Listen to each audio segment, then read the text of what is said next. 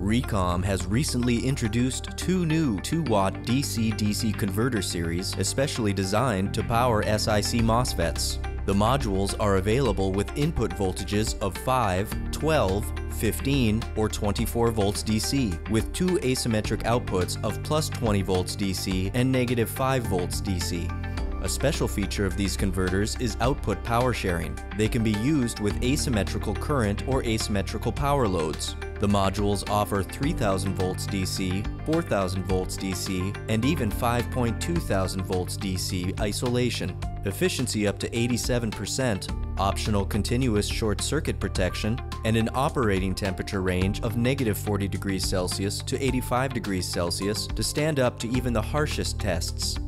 The RKZ series of 2-watt DC to DC converters are certified to IEC EN 60950 and UL 60950 standards and come with a 3-year warranty. To learn more, visit this product page on digikey.com.